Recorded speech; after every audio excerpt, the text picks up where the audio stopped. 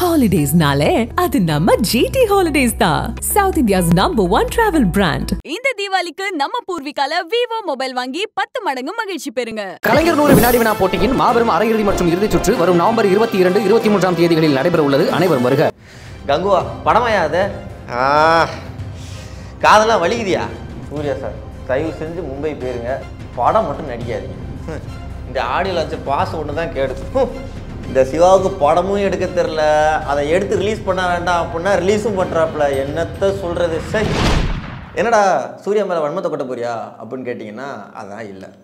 இல்லை சூர்யாவுக்கு சொம்பு தூக்க போறியாடா அப்படின்னு கேட்டிங்கன்னா அதுவும் இல்லை. சினிமாவுக்காக அண்டாவே தூக்க போகிறேன்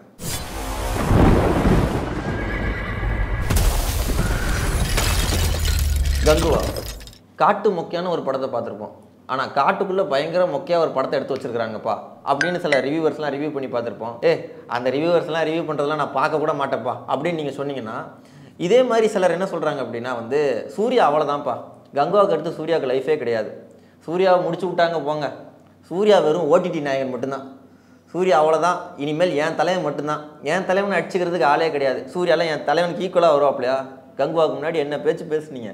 நாங்கள் பார்த்தீங்களா இப்போ என் தலையை மட்டும்தான் தமிழ் இண்டஸ்ட்ரியிலே பெரிய ஆளுப்பா. அப்படின்னு சொன்ன சில விஷயங்களை பார்க்க முடிஞ்சு மக்களுக்கு அதை பார்க்கும்போது என்ன தோணுச்சு அப்படின்னா சினிமாங்கிறது பொதுவான ஒரு விஷயம் தானே? இப்போ நீங்கள் சொல்கிற உங்கள் தலைவன் அப்படின்னு நீங்கள் சிலர் சொல்கிறீங்கல்ல ச நீங்கள் யாரை வேணாலும் இருக்கலாமே. உங்கள் தலைவன் நீங்கள் ஒவ்வொருத்தரும் சொல்லும் போதுமே அவங்களும் சினிமாக்குள்ளே புதுமுகமாக வந்து பெரியாள் ஆகி சில நடிகர்கள் அந்த டயத்தில் பெரியாளாக இருந்திருப்பாங்க. ஸோ அந்த டயத்தில் இவங்க நிறையா ஹிட்டு படங்கள் கொடுத்து மேலே வந்தவங்க தானே? நீங்கள் மேலே வந்ததுக்கப்புறமா வந்து என் தலைவன் மட்டும்தான் பெரியாள் என் தலைவனுக்கு அப்புறம் வேறு யாருமே கிடையாது. ஏன்? என் தலைவனே இன்னொரு ஆள்கிட்ட வந்து பெரிய ஆள் ஆயிக்கோன்னு சொன்னால் கூட நாங்கள் ஏற்றுக்க மாட்டோம். அப்பயுமே என் தலைவன் மட்டும்தான் பெரியாள். அப்படின்னு சொல்கிற சில கூட்டங்களையும் நம்மளால் பார்க்க முடியுது. பட் இது வந்து தமிழ் சினிமாவுக்கு ஒரு நல்ல விஷயமா? இது தமிழ் சினிமா வந்து வளர்த்து விடுமா அப்படின்னு கேட்டோம்னா ரொம்ப டாக்ஸிக்கான ஒரு விஷயம் தான். எல்லாருமே சொல்கிறது அதுதான். நீங்கள் படம் நல்லா இருக்குன்னு சொல்லுங்கள் படம் நல்லா இல்லைன்னு சொல்லுங்கள் சூர்யா நல்லா நடிச்சிருக்கிறன்னு சொல்லுங்கள் நடிக்கலைன்னு சொல்லுங்கள் அது என்ன எப்போ பார்த்தாலுமே வந்து என் தலைவனுக்கு ஈக்குவலாக வரல. என் தலைமை அளவுக்குலாம் வந்து பாக்ஸ் ஆஃபீஸ் கலெக்ஷன்லாம் வாங்க முடியாது. நீ யாரியா? என் தலைவன் கிட்ட வந்து பேசுறதுக்கு. என் தலைவன் பாக்ஸ் ஆஃபீஸ் மாதிரி உன்னால் வர முடியாது. வசூல் மாதிரியும் உன்னால் வர முடியாது.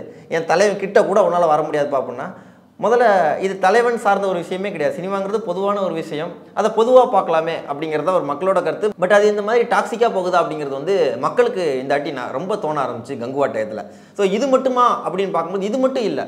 ஸோ இந்த சைடு வந்து என் தலைவன் மட்டும்தான் இருக்கணும் அப்படின்னு சொல்கிற ஒரு குரூப் இருந்தாலும் இங்கிட்டு வந்து ஏன்னா ஒரு சில மூவிஸ்க்கு வந்து ரிவ்யூஸ் வந்து கொஞ்சம் கலவையாக வர்றதை நம்ம பார்த்துருப்போம். இன்னொரு சைடு வந்து பாசிட்டிவ் ரிவ்யூஸ் வரும் இங்கிட்ட வந்து நெகட்டிவ் ரிவ்யூஸ் வரும். பட் இந்த கங்குவா மூவிக்கு சூர்யா சார் மேலே வந்து சில பொலிட்டிக்கல் சட்டையராக சில ரிவ்யூஸ் வர்றது என்னால் பார்க்க முடிஞ்சுச்சு. என்ன அப்படின்னா வந்து சூர்யா வந்து இந்த படம் நடித்ததுக்கு பேசாமல் வந்து மும்பை போயிருந்திருக்கலாம். மும்பையில் போய் செட்டில் ஆயிருந்திருக்கலாம். சூர்யா வந்து சூர்யாவோட இந்த கங்குவா படத்தை வந்து நான் பார்க்குறதுக்கு அங்கே காசு கொடுத்து பார்க்குறதுக்கு பெசாமல் நான் வேறு இடத்துல போய் நான் காசை கொடுப்பேன். நான் இங்கே கொடுக்கறதுக்கு காசை நான் சேரிட்டியில் கொடுப்பேன். அப்படிங்கிறத சில விஷயங்கள்லாம் என்னால் கேட்கும்போது எனக்கு சில விஷயங்கள் தோணும். ஏன்னா சூர்யா சாரும் ஜோதிகா மேமும் வந்து ஒரு ஆக்டர் மட்டும் கிடையாது. ஒரு சோஷியல் சர்வீஸும் பண்ணக்கூடிய ஒரு ஆட்கள் அப்படிங்கும்போது சில மேடைகளில் அவங்க பேசியிருப்பாங்க. அது வந்து சிலருக்கு பிடிச்சிருந்துருக்கலாம் சிலருக்கு பிடிக்காம இருந்திருக்கலாம். அந்த மாற்றுக்கருத்தை கொண்டு வந்து நீங்கள் வந்து எதில் திணிக்கிறீங்க அப்படின்னா அவங்களோட படம் ஒன்று ரிலீஸ் ஆகும்போது அதில் கொண்டு வந்து திணிச்சு அவங்கள திட்டி அவங்களோட தனி மனித தாக்குதல் மாதிரி சில விஷயங்கள் பண்ணும்போது அது ஒரு இண்டஸ்ட்ரியை பாழாகிற மாதிரி நிறைய பேருக்கு தோணுது. என்ன அப்படின்னா இப்போ நீங்கள் சூர்யா சார் மட்டும் இது இந்த படத்தில் கிடையாது. இதில் வந்து டேரக்டர் சிவா சார் மட்டும் கிடையாது. உங்களோட அரசியல் கருத்து ஒத்துமைச்சு போடுற மாதிரி சில ஆட்கள்லாம் இருப்பாங்கல்ல. அவங்களும் இந்த படத்தில் வேலை பார்த்துருப்பாங்க. இது ஒரு பெரிய பட்டாளம் மாதிரி. இது மொத்தமாக எல்லாரையுமே வந்து டவுன் பண்ணும். நீங்கள் ஒரு கருத்தை கொண்டு வந்து உள்ளே திணிச்சு இந்த படத்தை டவுன் பண்ணுறீங்க அப்படின்னா இது அவங்களுக்குமே ஒரு பெரிய அப்பன்ஸ் மாதிரி தான். ஸோ உங்களுக்கு ஏதாச்சும் மாற்று கருத்து இருக்குன்னா அவங்க மேடையில் பேசுகிறாங்க அப்படின்னா அதுக்கு மாற்று கருத்து நீங்கள் வந்து உங்களோட நியாயமான கருத்துக்களை நீங்கள் வைக்கலாமே தவிர தரமான முறையில் வைக்கலாமே தவிர இந்த மாதிரி இடத்துல வைக்கணுங்கிற அவசியமும் கிடையாது அப்படிங்கிறது மக்களோட கருத்தாக இருந்துச்சு.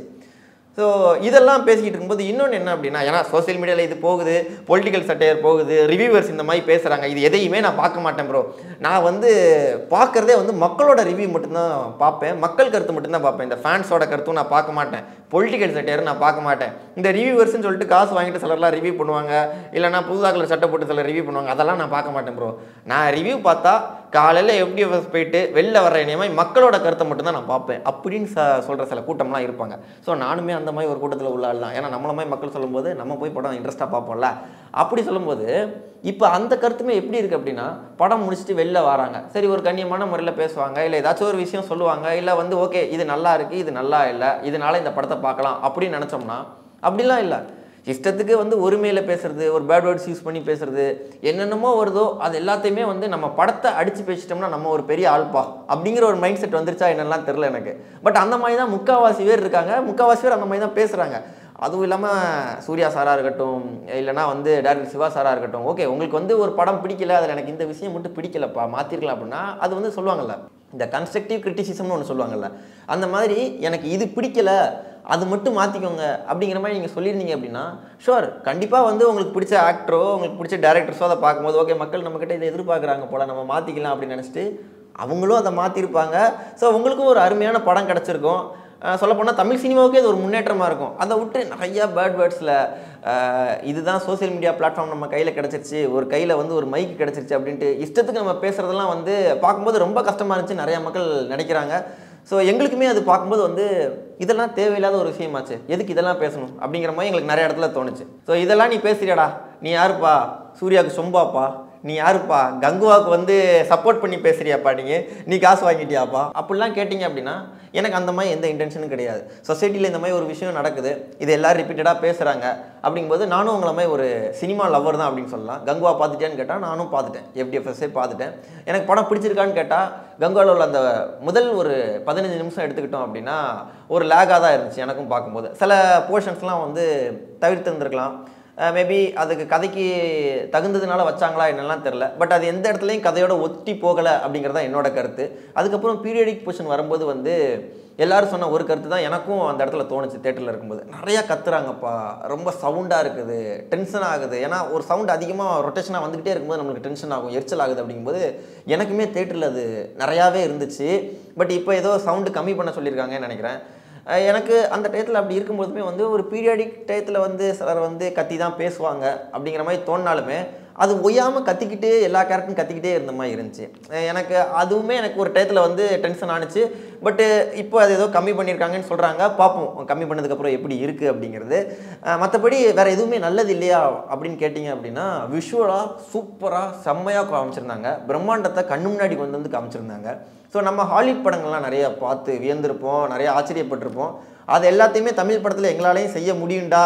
அந்த காஸ்டியூம்லேருந்து எல்லாத்தையும் எங்களாலையும் பண்ண முடியும் பெர்ஃபெக்டாக பண்ண முடியும் அப்படின்னு சூப்பராகவே காமிச்சு அதை த்ரீடியில் கொண்டு வந்து காமிச்சது இன்னும் அழகாக இருந்துச்சு.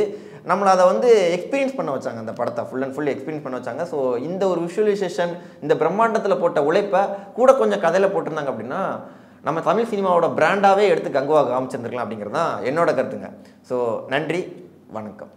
ஹாலிடேஸ்னாலே அது நம்ம ஜிடி ஹாலிடேஸ் தான் south India's number one travel brand இந்த தீபாவளிக்கு நம்ம பூர்விகால விவோ மொபைல் வாங்கி பத்து மடங்கு மகிழ்ச்சி பெறுங்க. கலைஞர் நூறு வினாடி வினா போட்டியின் மாபெரும் அரையிறுதி மற்றும் இறுதிச் சுற்று வரும் நவம்பர் இருபத்தி இரண்டு இருபத்தி மூன்றாம் தேதிகளில் நடைபெற உள்ளது அனைவரும் வருக.